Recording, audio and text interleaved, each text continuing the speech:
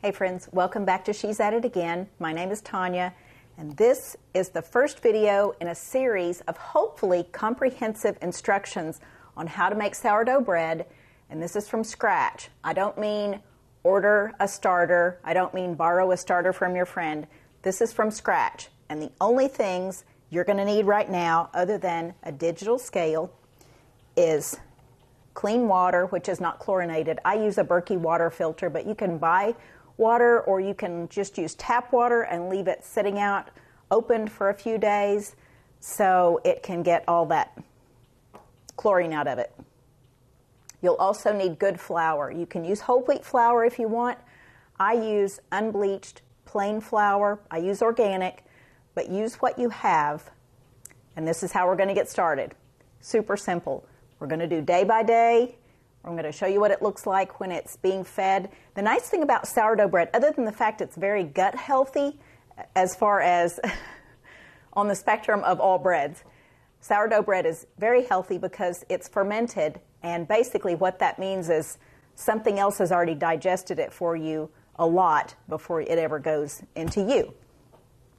The other thing is where you make this depends, uh, well, let me, let me back up the flavor of this depends on where you make it. If I live in San Francisco and I'm getting those salt sea breezes off the Pacific Northwest uh, water area, it's going to taste different than if I make this in, say, northern Mississippi.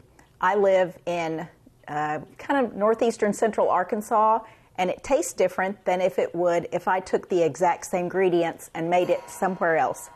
It all depends on the wild yeast in your area and just different factors like that. It's just so interesting to do. I will have some pictures posted on here of breads I've made in the past. They're just so pretty, it's almost like a work of art, and you want to take a picture of them not just because you think, oh, people can definitely see that this is good tasting bread, but they're just so beautiful. They're very rustic. But I'm going to try to, again, make this as comprehensive as I can and not long and drawn out, which I'm sorry, I'm just long winded. I'm trying to explain things. But if you have questions, by all means, all means, ask them in the comments and I will respond as quickly as I can. I have been making sourdough bread for probably three years now, I'm guessing, three or four years. And it's just something I do on a regular basis. I never, I never buy bread, but this is one of the breads that we make. Um, you'll need just a clear jar, and again, your scale. I do not keep my battery in my scale all the time just because I think there's a little bit of draining of the battery that runs down. So I keep it in the box with the scale. And I just put it in when I get ready to use it. I have another camera sitting right here so you can get a different angle of it. I just want to show you what's going on. we're going to turn our scale on. And we're going to set it to grams. It measures in fluid ounces, pounds and ounces, all that different thing. But you'll want it to measure in grams. So we're going to just start by putting maybe 45, let's go with 45 grams. I just want to get a little bit of water in there.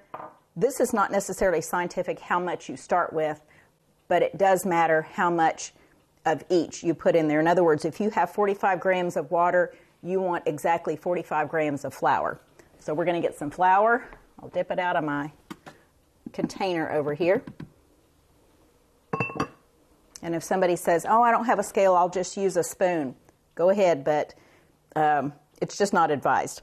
So we're going to tare this out, T A R E. So we're going to zero it out basically. And we want 45 grams of flour in there, just put a little bit at a time.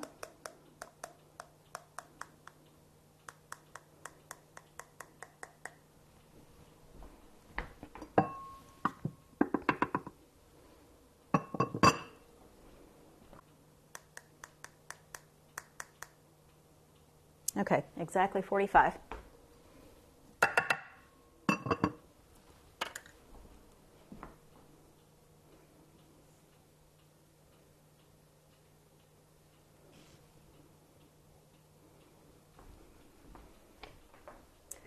Get a spatula. That's all we'll need the scale for today. And again, I just take my battery out when I'm done with it. put it in the box. We're going to stir this up. The wild yeast is already in your flour, but you're also going to capture some in the air as this sits and feeds for about 24 hours. Now, I may come back in 24 hours and may, there may not be any bubbles in this whatsoever, or I may come back and it's been super active. That's why you keep it in a glass jar because you want to be able to see how far it has bubbled up, if it does, overnight or ever how long the sitting period is, and then gone back down. So we're going to take a cloth. You can use a paper towel or you can use a cloth. This is just a cloth that, just a circle of fabric I made to keep over my kefir when I make it or my kombucha. Put some kind of elastic around there. And you can see what this looks like. It's just, it's literally a blob of flour and water. Now you can take a piece of tape and mark this, I can tell that this is at the, at the bottom of the word mason on this jar. So if it's climbed up the edge at all, I'll be able to see that and then it'll go back down. So we're going to come back tomorrow. We're going to check this. We're going to do a discard, feed it again, and I'll let you see the details of that. So stick with us. This is day two, and this is our jar that we started yesterday. I'll take the cover off, and as you can see, there's little to no action in there. So what I'm going to do is, I have a different jar, clean jar. I don't really have to weigh that yet. I'm going to take a couple of tablespoons of this. See how sticky that is? Woo!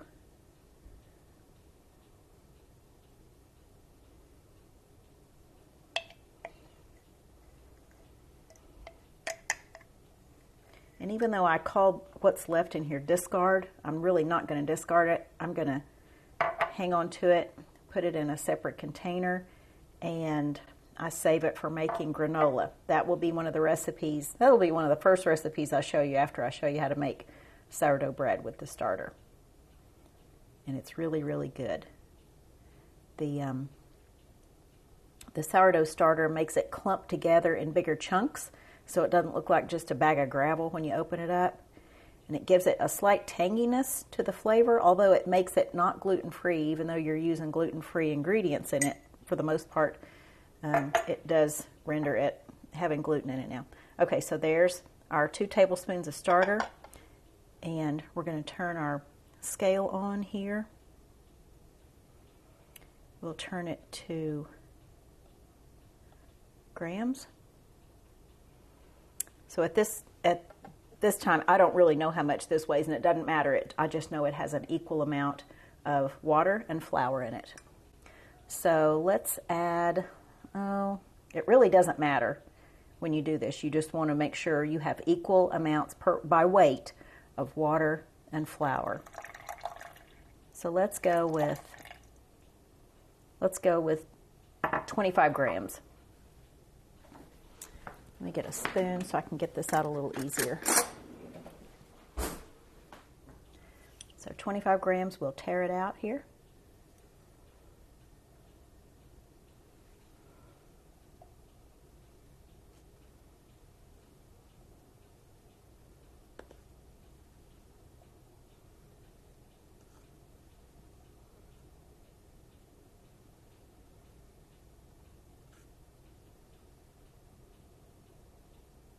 Whoops. I got 26. I bet I can get some of that out of there. There we go. Now we're at 25.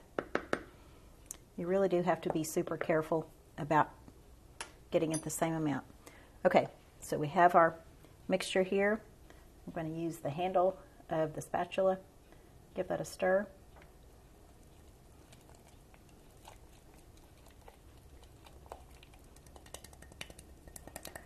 So this is day two. Our starter has been fed. And hopefully we'll get some action with some bubbles by tomorrow. But because the weather is cool right now, I think this actually, the fermentation process probably goes a little more quicker when the weather is warm, and it's not warm now. It's warm inside my house, but it's not warm outside.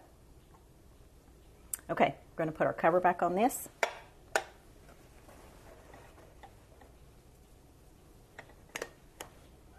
Set this on the counter, and that's our day two. So we'll see you tomorrow. It is day three on our sourdough starter, and I haven't looked at this yet. Ah, okay. Let me give you a look at this. Hopefully, you can see the bubbles in there. There's kind of a dry spot in the middle of it, but I'm thinking it's probably because I have a fabric cover on it. It's a little porous and it's maybe just drying out a bit. Some of the humidity's evaporating out of it. All right, I'm going to take part of this out as my discard.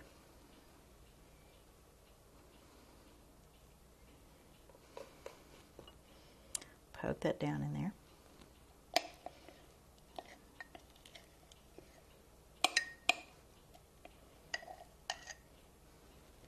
It definitely has a fermented smell to it. It is not a bad smell. Trust me, I'd tell you if it was a bad smell. It's not a bad smell. It's it's almost like um, it's almost like the smell of buttermilk. So that tells you anything. If you're familiar with buttermilk, if you'll notice, I had I have a rubber band on here marking what my level was. I'll have to move it in just a minute once I put my other ingredients in there. But we're going to set our scale for grams again, and it's at zero. Let's see, uh, let's see, yesterday we put 25 grams of each water and flour. Let's shoot for that today.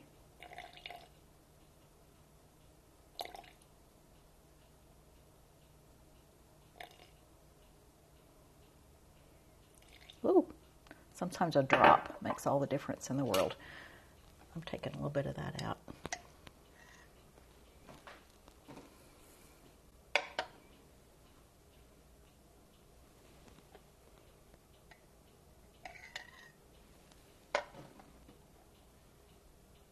Okay, we're right at 25. it's so weird to be that particular about something, but in this case, I am. Okay, 25 grams of water, tare it out there, and we're going to put 25 grams of flour in.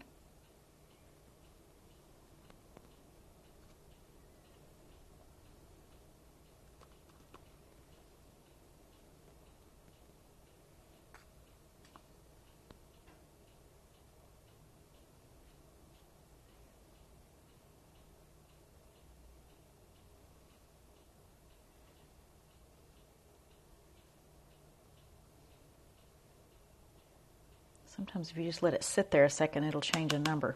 Okay, so we're good on that. I'm going to use my spoon that I took it out with. We're going to stir it up. So this is only day three, and we already have fermenting action going on there. I think that's pretty cool. So, from what I understand, and of course, this is being self educated by YouTube, I guess. But from what I understand, there are bacteria in here at this point that aren't necessarily as valuable in the bread making as ones that will come later on, say in about five to six days, or five, five to eight days, I think they said. So, what we're going to do is we're going to keep doing this. I'm going to keep feeding this every day. And at about the, oh, I don't know, I don't know, what, it'll really depend more on my schedule when I can do it because I'm not going to do it on a day where I have to get up and go somewhere early the next morning. But we're supposed to have cold weather next week, so probably next week in the middle of the week we'll go ahead and make a loaf of bread with some of our starter, and that's pretty exciting. I'm excited to show you that. I've been thinking about this ever since I started my YouTube channel, but it just takes such a long, drawn out time to do this, so that's the reason I haven't done it yet. But hopefully by next week, we'll be making some bread with this. And lucky for you, all this happens in one video instead of being drawn out for weeks like it is for me. Kind of impatient when it comes to that. Okay, we have this back on here. I'll put that rubber band about where our well, oh, sorry, you can't even see it. I'm holding it up here, thinking I have it in camera view, and I don't. I'm the worst. Okay, I think I have that right about the level that our thing is on. I will write some notes on this. This is what I wrote from yesterday. Reserved two tablespoons. So we reserved about two tablespoons again and added 25 grams of each water and flour for today. So I'll write that down and um, we'll come back tomorrow. I'm taking my battery out of this like I always do to store it. Okay, we'll come back tomorrow, so hang with us. We are on day four. Day four of our starter. And this is what it looks like. Get a better shot of that. So it's still bubbly. Again, bubbly. We're going to put our discard in this. And remember, I'm not really discarding this. I'm keeping this in the refrigerator to make granola or something like that with. So we're going to try to take all of it out, but about two tablespoons.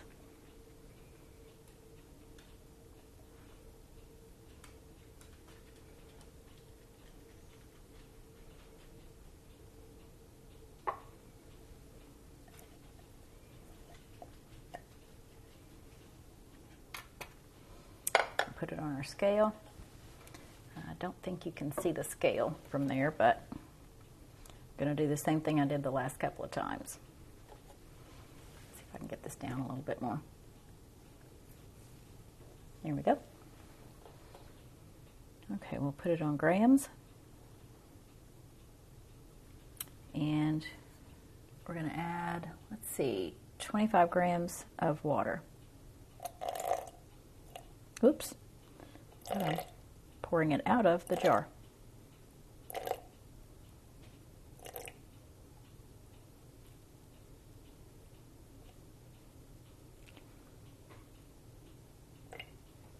It's so hard to get one gram. Maybe if I, oh, okay. It went to 25 just about the time I stopped. I don't want it to be weighing that extra water on there. Okay, we're at 25. I'm going to tare it out.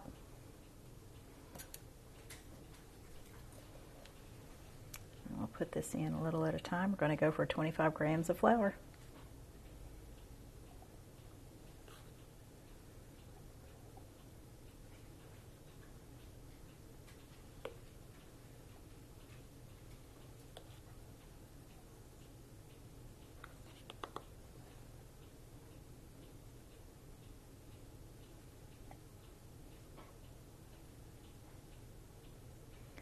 Sometimes you just got to dig some out. Okay, we're at 25. All right, I'll put this around here. Hopefully you can see that. 25 grams. I'll take and stir this up.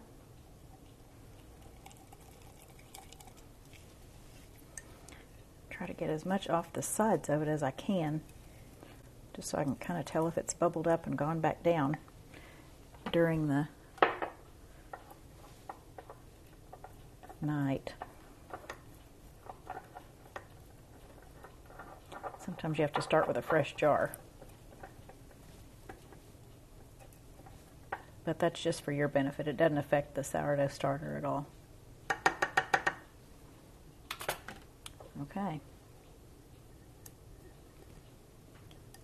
Up my rubber band up just a little bit. Looks like I have a little bit more than I had before. okay, so there's our starter again. We'll put fabric on it, rubber band, set it aside, make my notes so I'll know what I've done. So we'll be back tomorrow. We are at day five, and we're going to check our starter. Same process we do every day. Just do this until we get to about day seven. So Here's what it looks like. see if I can focus in on that. so hard to get a picture when you want it. See if I can do it like this. There you go. So you see the bubbles.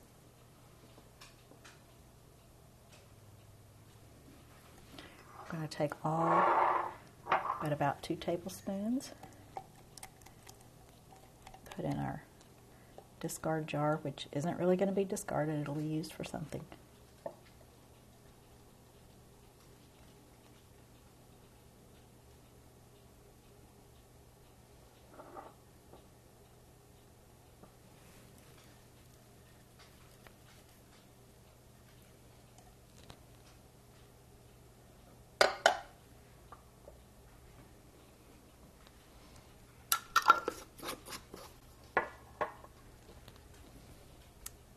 turn our scale on, set it to grams. We'll add 25 grams of water.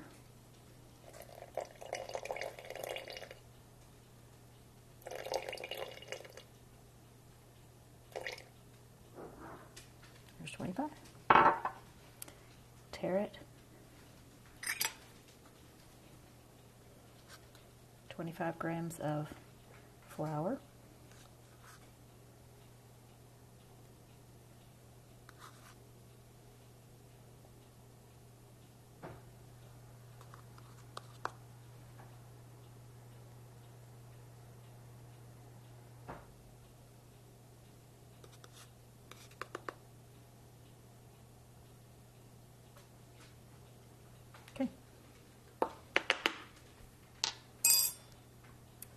This up.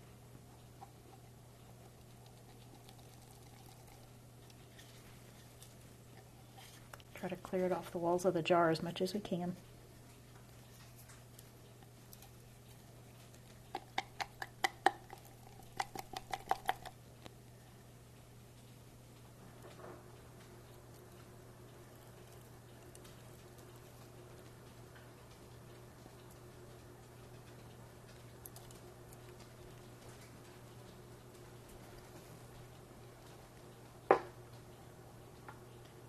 Like that.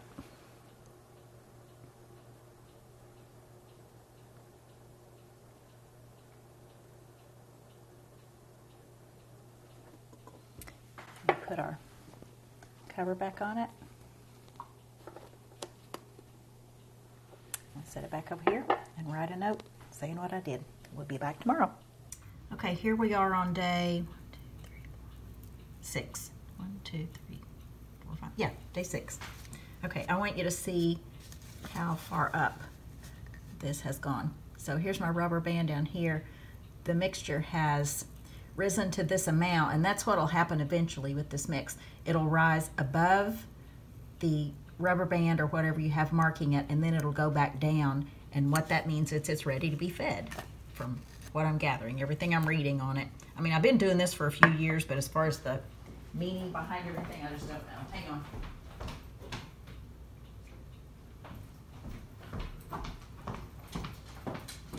Okay, I forgot my spatula. All right. Oh, shoot, I gotta get my jar.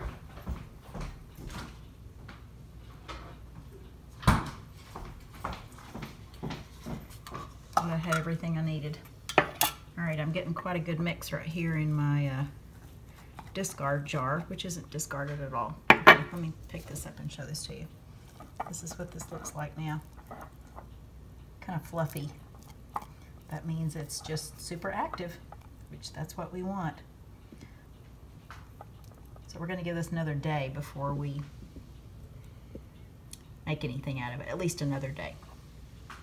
All right, I want to pour everything but about two tablespoons into the discard container.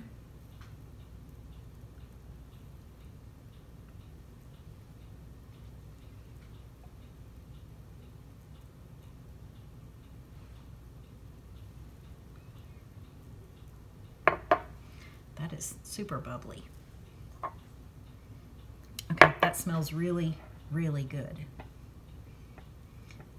Your sourdough starter will start to smell tangy. And when I say tangy, I mean like a yogurt or something like that smells tangy. But if it smells funky, that is not right. That needs to be discarded right away. But we hope that that's not going to happen. All right, get the sides of the jar as clean as I can.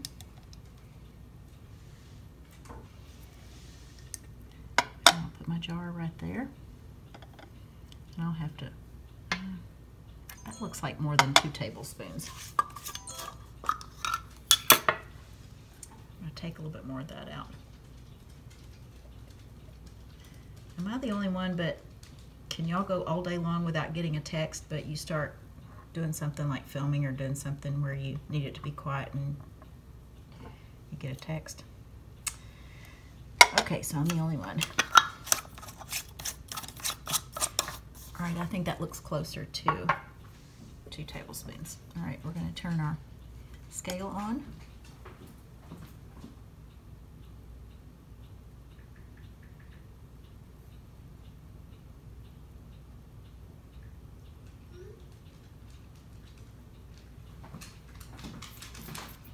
And we're gonna set it to grams.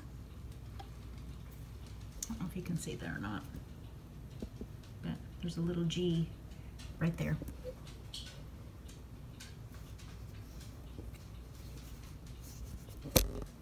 Hmm. And get this situated where you can see it better.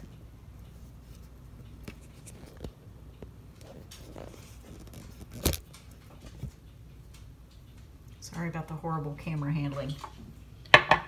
I don't know what I'm doing, so that's my reason for it.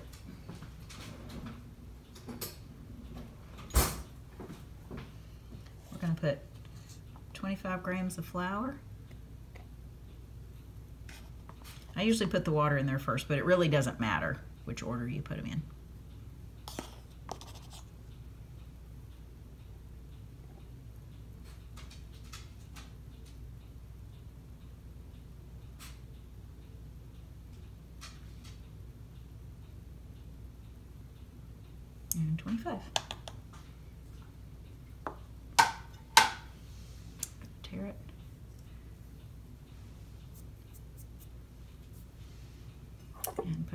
grams of water in there.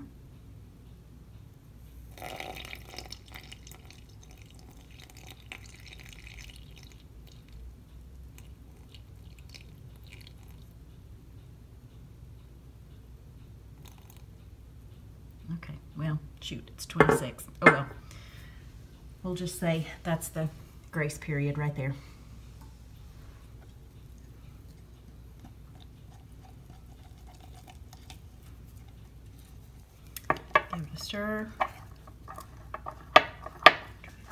Off as much as I can.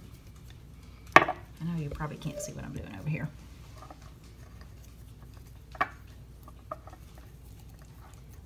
Basically, we're just doing the same routine every single day for about seven days. Then that's when the action starts. So I'm not, I mean, yes, I make apologies for being horrible at filming this, but I'm really not making apologies because you know what I did every other day and it's just the same thing. Discard some, you reserve about two tablespoons, you add about 25 grams, and I'm just making up that number. You can add however much you want. I'm just trying to keep from wasting so much flour. All right, I'm gonna put our cover back on it. Equal amounts of flour and water. And that still looks like that's about to that height right there. So we'll set this over here. And what I've been doing the last couple of times is putting this lid on it just as a moisture barrier so it doesn't dry out in there. So that's where it sits right there. There's my onions over there that I'm keeping alive till I can poke them in some soil. So here's our starter. Tomorrow will be our last day to do this and then we'll start making some bread. So I'm looking forward to that. All right, friends, we are on day seven of our sourdough starter and I just put my battery in my scale. We're gonna turn this on. We're gonna start our dough tonight for our sourdough bread. So this is just in preparation for that. It is, um, it's almost nine o'clock in the morning right now, but I want this starter to get super active today to make the bread starting this evening. So this is going to be overnight sourdough bread. So I'll tare this out. When I say tare it out, I just mean zero it out. Set it to grams again. And what we want to do is find out how much starter we have in here. We're not going to do any discard today. We are simply going to add all the starter to this and then we're going to add equal amounts of flour and water to whatever we have.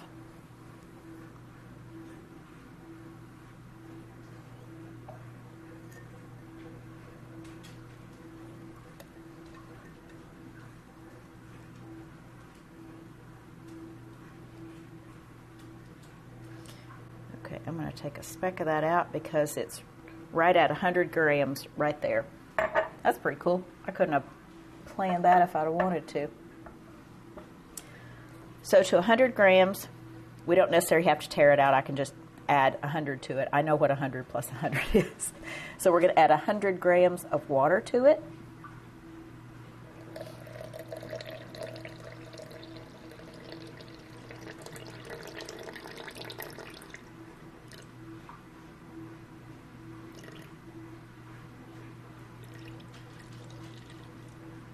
Okay, we're right at 200. And then we want to add 100 grams of flour to it. So when we get to 300, we'll be good.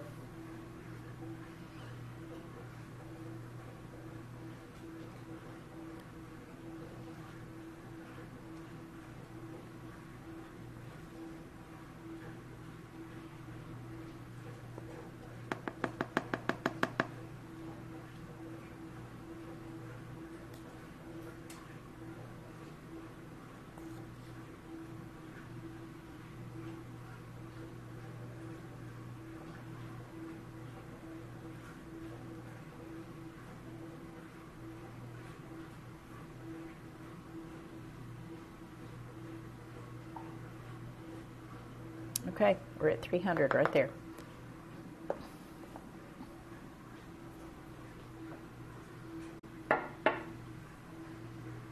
stir this up and again take my battery out. I always take the battery out.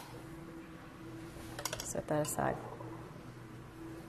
So during the day today, because my house is a bit warmer during the day, of course, than it is at night, this is going to really get active and again, it has a great smell to it.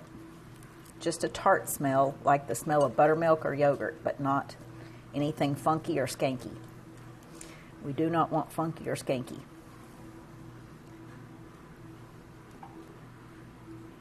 So up until now, we've had pretty much zero waste on this because we've saved all our discard because we'll make something out of it later. But for right now, this is going to get super active today. We'll come back this afternoon and I'm just trying to figure out how to put my camera so y'all can see it better. I'm not interested in, I'm certainly not interested in getting a video shot of me in it. I want to show you what this looks like, and I want to do it comprehensive and I want to do it concise enough to where you don't sit there and go, come on, come on, come on, shut up.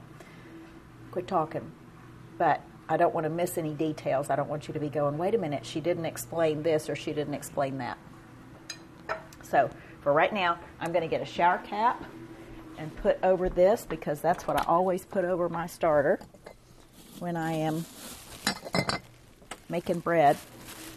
It keeps any dust or bugs. Of course, we don't have bugs. It's wintertime right now. Have any bugs in it, but we want to put it in that. It kind of keeps the humidity in there. But we're going to leave it sitting right here on the counter and it'll stay nice and warm. And I'll get this washed up because it has some starter on the side of it. Anyway, we'll come back this afternoon and we'll start filming the mixing up of the starter with the flour and salt and water. It's incredible. This this sourdough bread has of course flour and water to make the starter. You add more flour, you add more water and salt. There's no fat, no sugar, no anything else in this bread. It's so incredibly good. So I can't wait to show it to you, so come back in just a bit. All right, here we go. This is a bowl that I don't normally use. I'm using a clear one just so you can simply see the contents of it. The bowl I normally use is big and blue and it's beautiful and it's my bread bowl, but we're going to make it in this one and it'll be fine. Let's turn our scale on. My starter has gotten really, really active today, so that's pretty exciting. Okay, we are going to turn our scale to measure grams. And the first thing we want to do is start with our bubbly starter here. That is some bubbly starter right there. Look at that. That is a healthy starter. That's what you want yours to look like. And we only need 50 grams out of this. Now, it's going to look like so minimum, and you're thinking, I think she's mistaken about this, but trust me on this one, it's 50 grams. The remaining starter, you're going to put in a jar in the refrigerator. This is the part I want you to pay attention to because even though people say, oh, sourdough starter so hard to keep up with, you have to feed it all the time. If you put it in the refrigerator, you feed it about once a week. If you go two weeks, uh, I can't guarantee that nothing's going to happen, but I've gone two weeks and nothing happened. I fed it after two weeks. You just do the same thing we did with the starter each day. You discard a certain amount, and I'll tell you about that later. Discard a certain amount, feed it equal amounts of flour and water, stir it, let it sit on the counter to where it rises up, and then it goes back down, and then you put it back in the refrigerator. So that's all there is to it. But if you're like me, you're going to find so many things to make with it that you just kind of keep it going. You never really throw out your discard. Even if you feed it to the chickens. If you have friends with chickens, chickens love this, and it's actually supposed to be healthy for their gut, so it just never goes to waste.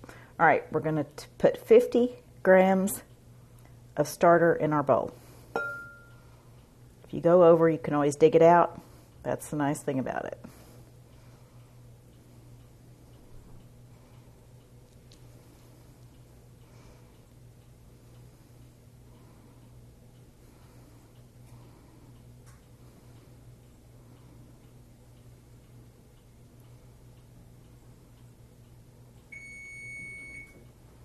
Ignore my oven. I'm heating up leftovers for dinner.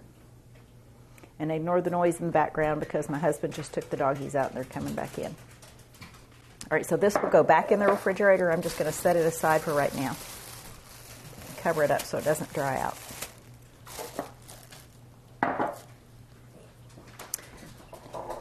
Let's set our scale to zero still in grams. If I can get it back to there, I accidentally hit the wrong button. Okay, grams, 350 grams of water. Now, this needs to be non chlorinated water. So, if you need to buy um, some kind of store bought water, or if you have a Berkey water filter, that's great, but just some kind of water. If you, uh, if you don't have access to store bought water and you don't have a Berkey, if you'll take your water in a large bowl with a large surface area, put a lot of it in there, and let the chlorine evaporate out overnight for just you know several hours, then it should be fine. But chlorine, I've heard, will kill your starter. I can't guarantee that because it's never happened to me because I don't have chlorinated water because I use that of the Berkey. All right, 350 grams of water, and just watch your scale. When it gets close to it, just slow down.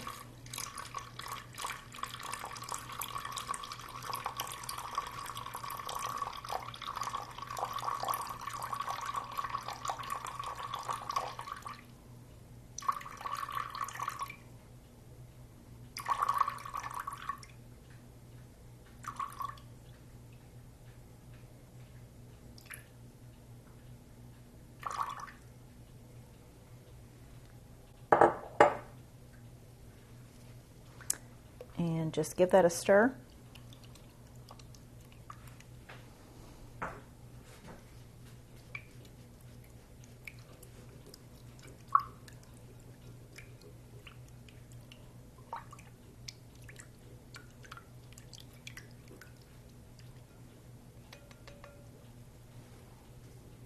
To this, we're going to add 500 grams of flour. So zero it out.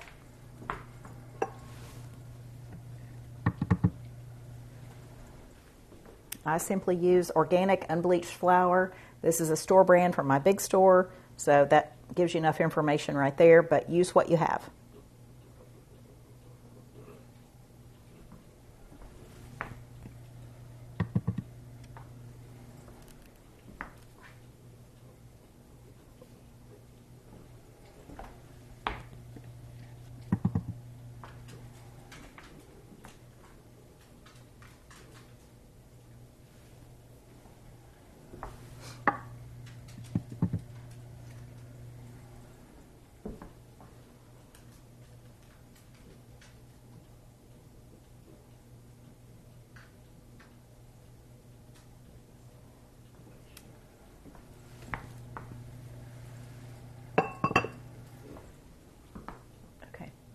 The 500 grams.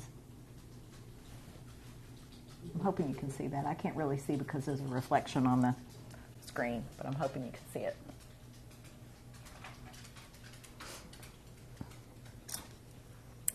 I'm going to put my bowl over here. The um, salt, I always think, oh, it's so sensitive, it can't measure it. It really can, but I just put my salt in something different to measure it out just in case, because I can't really dig it out without digging out flour too. Zero out your scale. And we need nine grams of salt.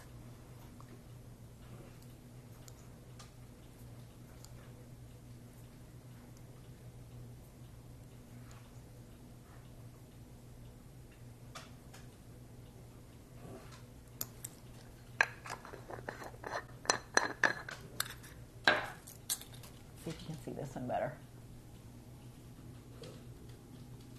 Nine grams. Put that on top of there. Again, I take my battery out every time I put this up. I put my box in the drawer, so I'm just going to set that aside.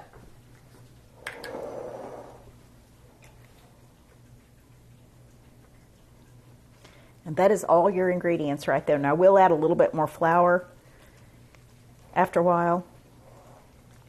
But for right now, we're just going to rough stir this until as much of the moisture is distributed throughout as you can get it. And I will tell you this ahead of time this bowl, uh, I'm sorry, this dough actually never touches the counter. And you'll see what I mean.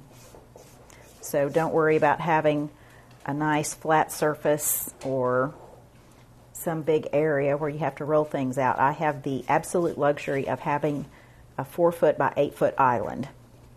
And I love my island. And I very few times have I ever taken it for granted, but this is not one of the things that you need a large counter space for. So if you have a very small kitchen with a very small counter space, this is going to be a huge success for you, I think. Because it does not require a big counter space to roll it out. This will never come out of the bowl and onto the counter. It'll only go out of the bowl onto a Dutch oven or a pan to cook it in. But it won't touch the counter.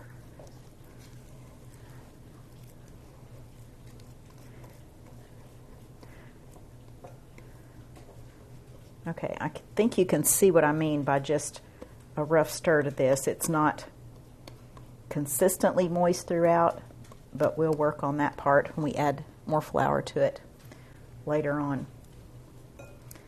What we're going to do at this point is, let me show this to you. Oh, gotta get that off there. What we're going to do at this point is we're going to take our dough, cover up the bowl with a shower cap. I'll get that.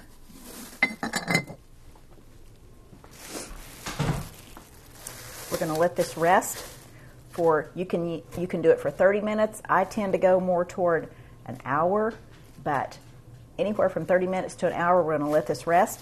And when we come back, we're going to add about a half a cup of flour to it. Then we're going to start our mixing in the bowl. Never take it out of the bowl onto the counter, but we're going to need this in the bowl and then get ready to let it rest overnight. So we'll be back in just a bit. Okay, we are back. It has probably been, uh, I don't know, over an hour, maybe less than two hours. I'm not even sure. Okay, this is what our dough looks like. See how wet it is in parts? Make sure you can see that clearly. this is really, really wet. So, what's happened is the wheat flour has, or the white flour, but it's wheat flour, has absorbed some of the liquid and it's in a relaxed state. So it's almost like, oh, I'm so full, I can't get any more liquid in me. So we're going to add more flour to it to even that out. This is a level half cup of flour. Now, you're not going to measure this in grams. You can if you want to, just to see what it weighs, but just a level half cup of flour in addition to that should be enough. I normally shake it to cover the top.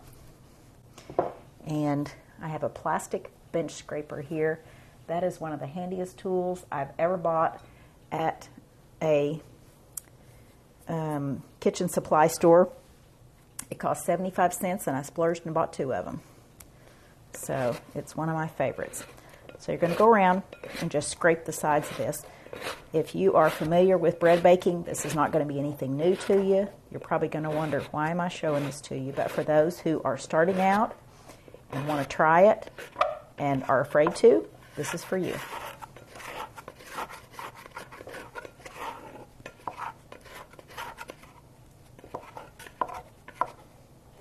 I'm just going to take and try to coat all the outside of it with the flour. So I'm just kind of pushing the flour underneath it as I go. Now I'll get my hands in it just a minute. I just want to coat it first of all before I get my hands in it because otherwise it'll stick to my hands.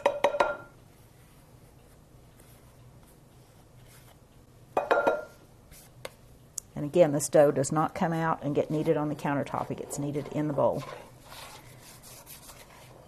So the entire purpose of this step is to incorporate that half cup of flour into this ball of dough that you've started. And although it seems at first like that's not going to all go in there, there's too much flour, it goes in there beautifully and it's the perfect consistency. So, whatever your method is to kneading dough, just do it inside the bowl. I have several ways of doing it. I take and pull the outside to the inside like this, all the way around.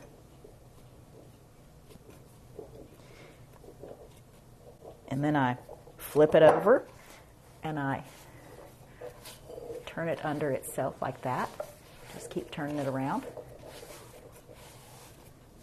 So I'm basically pushing the sides underneath and adding the flour to it as it goes. Every once in a while, I'll grab a scoop of flour. So I'm just going to keep doing this so you can watch it, but it really doesn't need any more explanation. But I will tell you that once this step is done and we've incorporated all this flour into this dough, and it's a smooth ball, smooth and consistently um, lump free, then we're going to put the shower cap back over the top. You could use a towel, a piece of cellophane wrap, whatever you have. That way it doesn't dry out. And this is going to rest and rise overnight.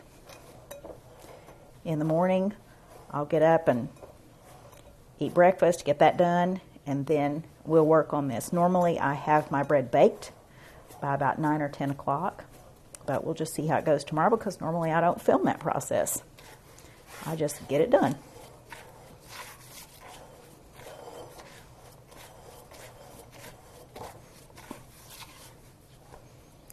So that's why this is called overnight sourdough bread. And I have to give credit to the person that this recipe came from.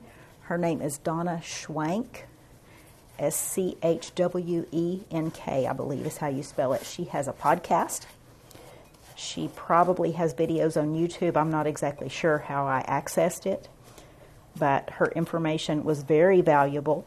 She is very um, knowledgeable and when I tried it, it worked great. So I can only assume that um, it will work for you because I'm not that smart.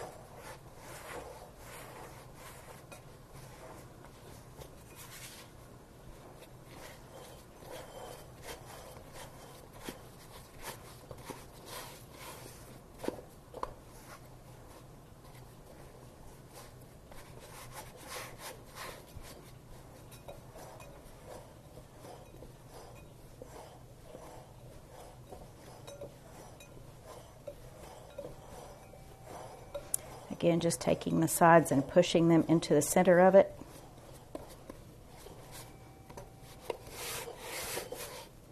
And we now have all of our flour absorbed. I'll even take with my nail and just scratch up the bits on the bottom to make sure it's in there too.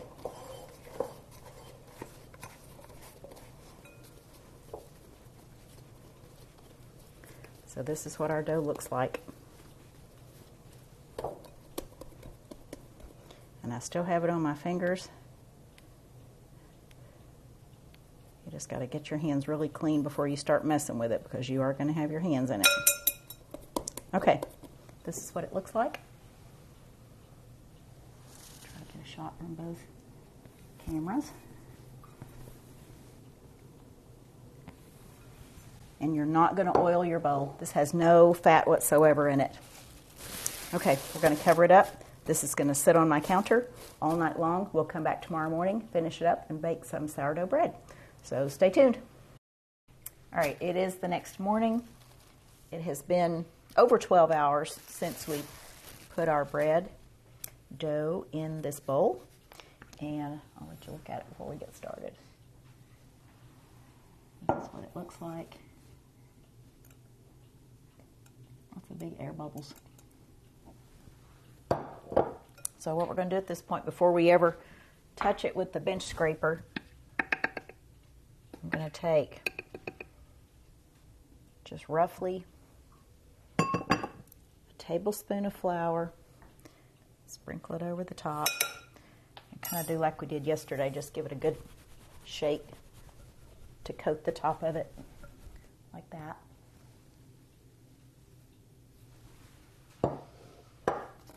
Take our bench scraper, pull it away from the bowl, and we're just going to knead this lightly, kind of like we did the last kneading last night before we covered it up.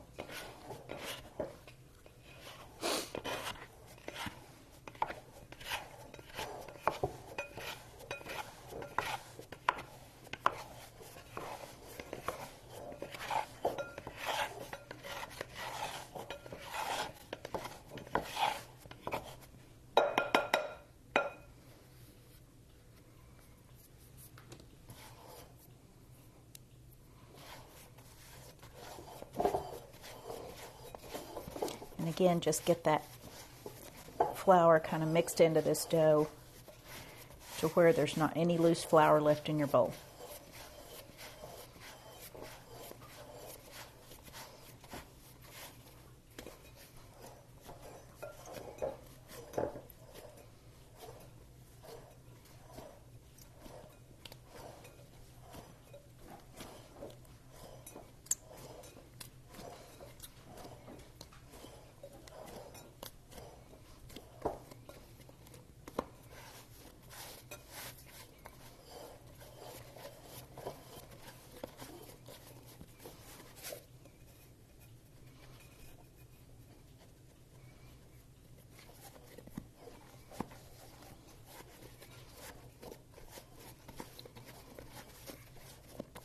Will go from being super sticky to that just that one tablespoon of flour will make it to where it's easy enough to handle without sticking to your hands or the bowl, either one.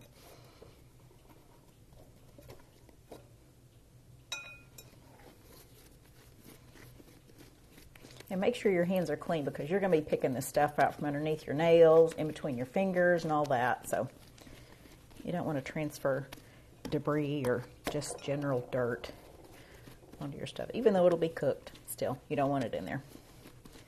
Okay, so this is how soft and pretty that is.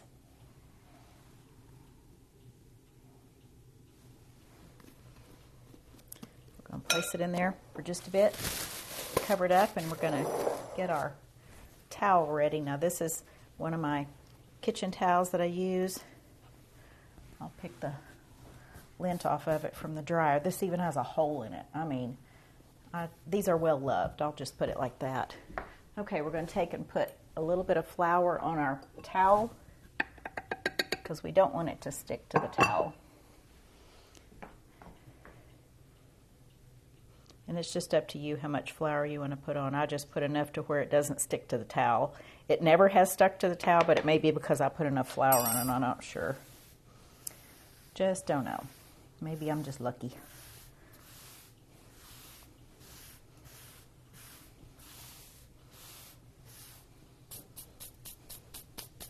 Okay.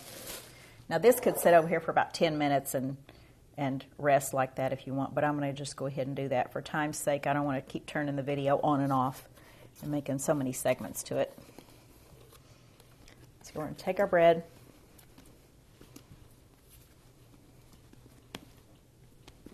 Just plop it down on there, just like that.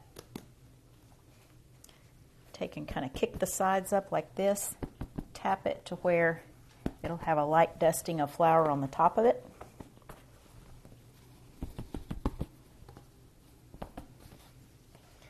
Pick it up by the corners and we're going to put it back in this bowl.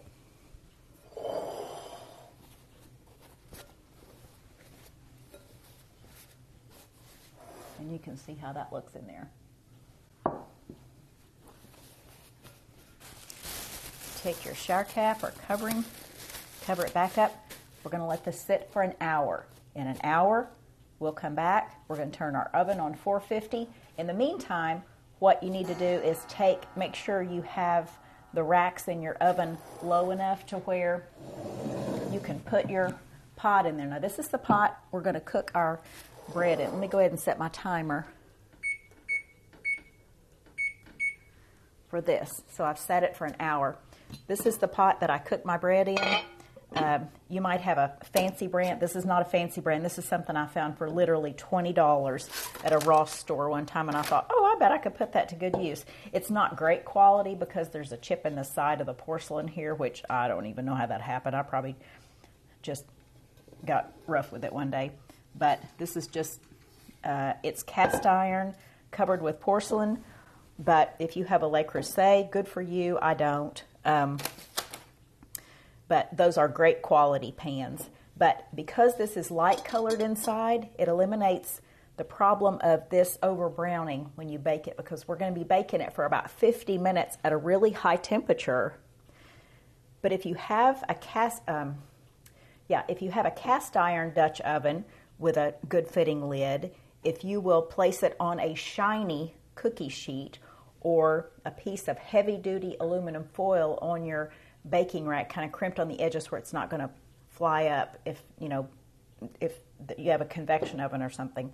Uh, just something reflective underneath this. It will prevent it from browning your bread from browning on the bottom. You will need, like I said, a Dutch oven like this with a lid. This is very heavy. And then you're going to need a piece of parchment. I use these over and over until they just can't be used anymore just a large piece of parchment because we're going to turn this bread out onto the parchment and place it down in this to bake. So next step, you're going to need a Dutch oven and your piece of parchment that goes with it. But for right now, we're going to let this rise for an hour and then we'll come back and do our next step. We've had this rising for an hour. Our oven is preheated already. I turned it on just right before I knew that our hour was going to be up. And this is what our bread looks like. I don't know if you can see it any better over there. Probably not. All right. Get our pan over here and ready. And this is the part that might be a little intimidating, but it actually shouldn't be. Going to take our parchment, place it over the bowl. We're going to invert the bowl. We're going to flip the bowl over and turn this out onto our hand. I'm not used to doing it with this bowl, so hopefully it'll work. There we go. So it's out of the bowl, onto the parchment. Take the towel off, and that's what the flour does, is just let it release easier.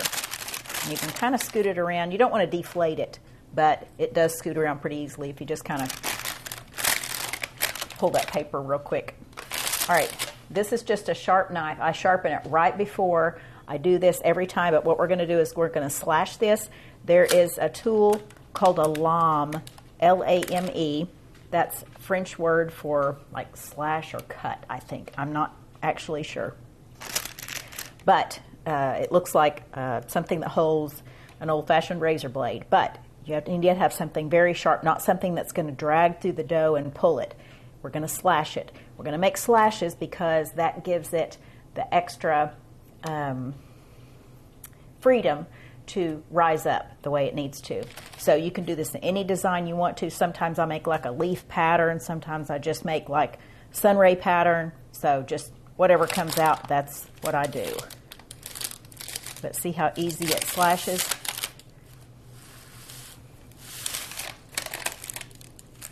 Do it evenly all over. And we're going to lift this up, put it in our pan, just like that. We're going to bake this for 20 minutes with the lid on. Then we'll come back and I'll show you taking the lid off. We're going to bake it for 30 minutes after that. So, oven's preheated. The rack on the oven is set up high. I'm going to turn my camera up like this so you can actually see me placing it in the oven. So, I took the top rack out, so the bottom rack is right there. We're going to put this in the oven now.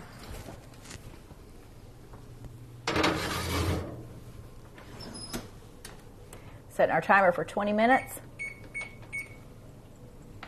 And we'll be back in 20 minutes. Then we'll show you taking the lid off, put it back in there.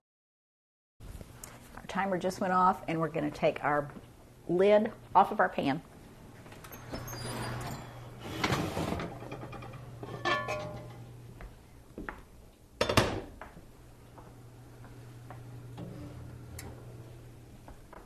That's what it looks like. Kind of half baked. Now we set our timer for 30 minutes.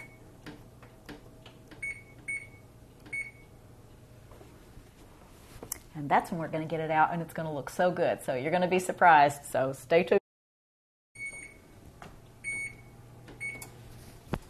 Okay, oven's going off. Our bread's ready.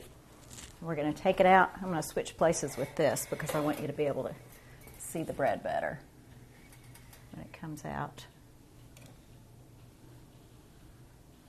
Okay, I think you can see it from there. Because you have to set your pan down on something, so have your hot pad ready, and then we're going to transfer the bread out of the pan immediately onto the cooling rack. Otherwise, it just gets soggy on the bottom.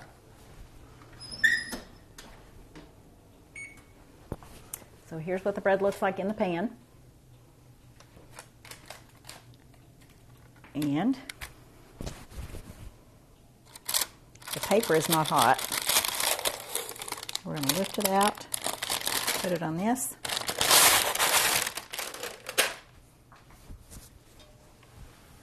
Set that aside. And this is what our bread looks like. I don't want it to slide off, but I want you to be able to see it. See where the slits were on the top of it? Let's see if I can get a better picture of this.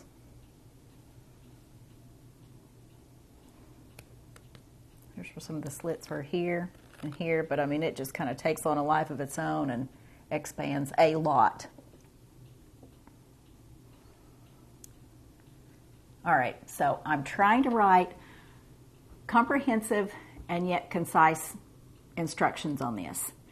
Go to the details um, over on the right hand side. You know where to click on for our recipe. So the instructions are over there. If you have questions, simply comment or contact me directly. Ask questions. I want you to be able to do this. I want this to be helpful. I don't want this to be like, hey, look, Tony knows how to make sourdough bread. I want I want you to be able to. I learned how to make sourdough bread by watching this video, and it was so easy. It was incredible. I make this about once a week. I keep my starter going. The next video I'm going to do is for granola made with sourdough starter. And the reason you put that in there, it's not gluten free at that point, but because it makes the granola stick into clumps, it's not like a, just a bag of gravel or something. There's these big clumps and you can change it up, use all the fruits and nuts and things that you want, the seeds. It's just so much fun. Everybody wants to know how to make the sourdough granola, but you have to be able to make the starter first. That's what it takes. So I hope this has been beneficial to you. I hope you've enjoyed this video. I'll try to get a picture of this once we slice it. Do not ever slice this bread when it's hot because it just makes the moisture disappear. And remember, it has no fat in it. It doesn't have any sugar, but it has no fat in it. So you're talking flour, water, and salt. That's it. And it makes this beautiful loaf of bread. This is this is um, this was alive before we cooked it. So that's what's so cool about it. So I want you to be able to do this, but you have questions, contact me. But I appreciate you watching as always. Thank you for being there, and um, we look forward to sharing something again with you real soon. See ya. Okay, one more thing. Uh, we just finished our bread video. My loaf is over there cooling right now, but I did want to clarify something. When you have made your starter, once you make your bread, you're going to have starter left over, and you're probably going to think, she didn't tell us what to do with this. So your refrigerator is going to be like a sleep chamber for your starter. You're going to keep it in a jar. Uh, I keep mine in a, it's just a, a, plastic container with a lid on it. It, I think, organic ice cream, if I'm not mistaken. It's about maybe a pint big, but you're going to take your starter and keep it in that. Now, it's going to go to sleep in the refrigerator. Like I said, it's going to be like a sleep chamber in the refrigerator. So, what you're going to do is about once a week, you know what? I think I've left mine in there for two weeks without feeding it. So don't panic if you go over a week, but just kind of set a date where, like every Saturday morning, you're going to feed it, or every Sunday night, you're going to feed it, or Monday morning, first thing. But about once a week, you're going to feed it. So what that entails is you're going to remove all of it that's considered your discard. Remove all of it except for four ounces. This is just kind of my rule of thumb. It's different measurement for different people, depending on really how much you use it but to keep from wasting so much of it, because I do use a lot of my discard to make other things, you'll take about four ounces, leave in the container. So start with a clean container, put four ounces in there. You're going to add four ounces of your clean, unchlorinated water, and then four ounces of flour. Stir it up, uh, cover it, let it come to room temperature and just get bubbly and active. And once it settles back down, you can see the bubbles going back down that level of it. And then you're going to put it back in the refrigerator to go to sleep again. Now, you can use it any time throughout that week. Just kind of let it come to room temperature. Maybe feed it a, maybe a, a teaspoon of each, water and flour. I don't know if you just want it to get active. But I've literally taken mine out of the refrigerator, put it in the bowl, and started the process of bread making.